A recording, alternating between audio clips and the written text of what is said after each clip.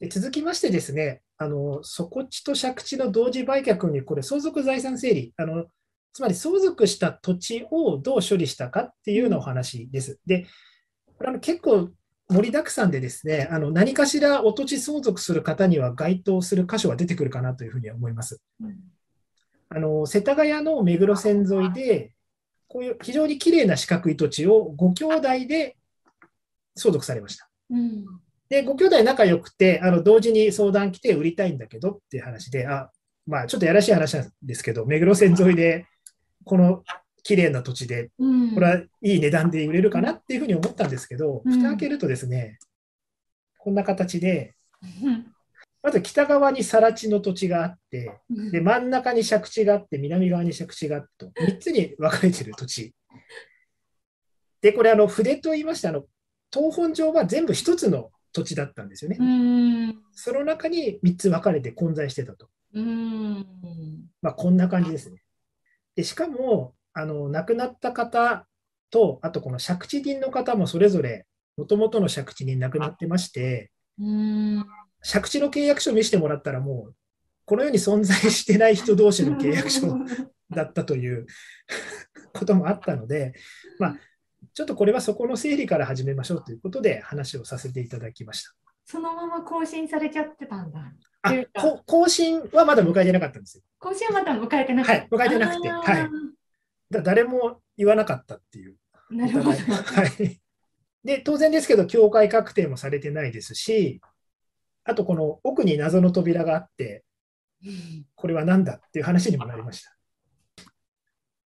で、ご提案としては、あのこれ、借地権、借地権というのはあの貸してる側ですね、地主さん側の権利を売るということなんですけども、当然、あの上には借りてる人がいますから、あの売価としては非常に安くなってしまいますので、底地ですね。そうですね。うん、底地ですね。うん、あ、そうです。底地としては安くなってしまいますので、うん、まずはその地主さんが亡くなったんでというご挨拶をしながら、どうでしょうか、一緒に売りませんか、もしくは買いませんか？と、底地権買いませんかっていう打診をしましょうということで話を始めました。であと、教会がないので、まあ、教会もまずはやりましょうということで、あの話を進めさせていただきました。で結構あの相続発生してですね、この土地の相続になったときに、買い手があの決まらないとなかなか確定の測量しても意味ないんじゃないかみたいな話があるんですけど、結局やんなきゃいけないので、うん、どんどん土地の境界確定とかは早めにやっていった方がいいかなと思います。で、結果的にあの南側の人は、もう実は売りたかったんだよって話になりまして、じゃあ一緒に売りましょうと。底地権と借地権同時売却しましょう。要は買う人は所有権になりますから、やりましょうと。ただ、厄介だったのが真ん中の人は、あのもう、このままいたいと。売りたくもないし、買いたくもないし、要は現状キープしたいというふうな話になり、まあ、まあ、じゃあ、しょうがないですね、それでいきましょうということで書類の取り交わし、まずはしました。で、ただ、結果的に真ん中の土地だけ残っちゃうのは安いので、うんこの南側の土地と、要は離れ離れの土地を合算して大きな土地にできないかなっていうところでの交渉をちょっと始めてたんですね。だこういう大きな土地にしたらどうかっていうイメージになります。で、あとこの奥の謎の扉。これどうやら奥の人が家を建てる時の避難経路として設置させてくださいというものだったらしくて、なんかそれっぽい書類が出てたんですけど、まあ間に入ってる不動産屋がちょっといい加減で、なんか形式的に作らせてくださいみたいな、すごい軽い感じの署名、捺印が入った書類が出てきました。あの要は非相続人の方がサインしてたんですけどね。うんでただ、それって非常に曖昧ですし、代替わりしちゃったときに、これ、扉塞いじゃうと、多くの人が避難経路として使えないっていう話になってしまいますので、うん、役所役所とも交渉したんですけど、だめだったんですよね、扉取るのは。うんうん、なので、ちゃんとちょっともう一回あの確認書を取り交わして、代が変わっても有効ですよっていうものにしましょうねということで、こちらももう一回書類を取り交わしました。でさっきと違ってですね、あの道路公道でしたので、測量自体は非常にスムーズに終わりました。測量自体はスムーズに終わったんですけどね。で最終的には、こういった形ですね。もともとのこの土地を、こういうふうに借地を北側に付け替えて、えー、南側の部分を大きな土地にして、あのまあ、高値を設定して売却しようという形。で、奥の扉はもうそのまま継続しないといけないので、この扉ありますよということを条件に、えー、売却の方を進めていきました。結局、買い手が見つかって、あの無事、先日決済を終えたんですけれども、あ、ごめんなさい、こういう形ですね。まず、あの測量費用が80万かかりました。結構かかりました。であと、この北側の区画を変更したことで、ちょっとお礼として土地無償提供したんですね。で、評価額的には多分何百万かこれでいってます。で、あと水道工事のやり替えで100万。で、これ、結局9ヶ月かかりました。初めてお会いしてから。最初もうちょっと早く終わるかなと思ったんですやっぱりやることがいろいろ多すぎてですね、あの結果的に9ヶ月かかって、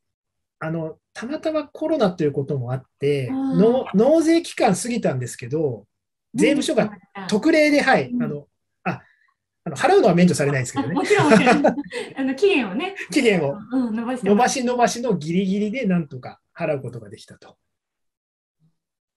でただ、ほっとしてやっと終わったと思ったら井戸が出てきちゃって、で、井戸埋めたり。あるあるなんですよね。そうで、井戸とか、あと浄化層とか、ね、浄化層。そしてたまに防空壕。あ、防空壕。私も1回だけやります、防空壕は。うん、で、基本的にそういったものが出てきてしまった場合は、売り主さんの負担で埋めなければなりませんので、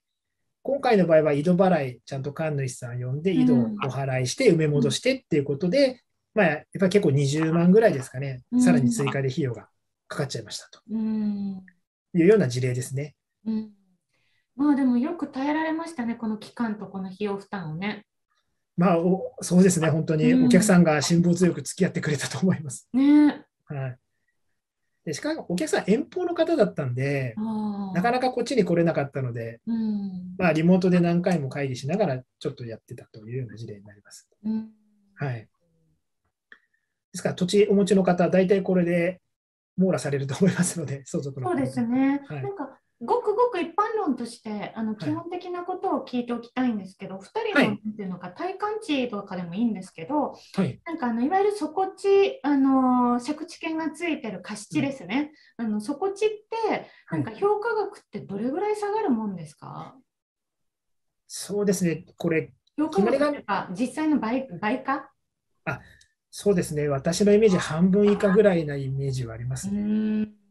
あの借地権だったら半額ぐらいでいけると思うんですよ。うんうん、ただ、底地権だともっと低くなっちゃう印象はありますね。3割までいかないです4割とか、それぐらいの印象かなっていう感じはします。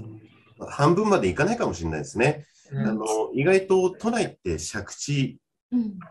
して底地っていうところ割と多くて、うんあの持ち家のように住んでいるようでいて、実は借地権ですよと。うん、そうすると、その底地を持ってる人がいるわけですね。うん、でこの人って、あの底地だけ売ってもあの、普通の土地と比べると半値以下になっちゃうし、で借地料も大してもらえてないので、うんなんていうかこう、頭を抑えられて厳しい状況なんですよ、底地の人って。そうですよね、その、だから一番いいのは、金銭的なところで一番いいのは、借地と底地を合わせて、うん、所有権にして、市場で売却するっていうのが、金銭的にはベストなんだけど、それがうまくいくケースと、お互いに納得しないとダメですからね。という難しさはありますね。ですよね。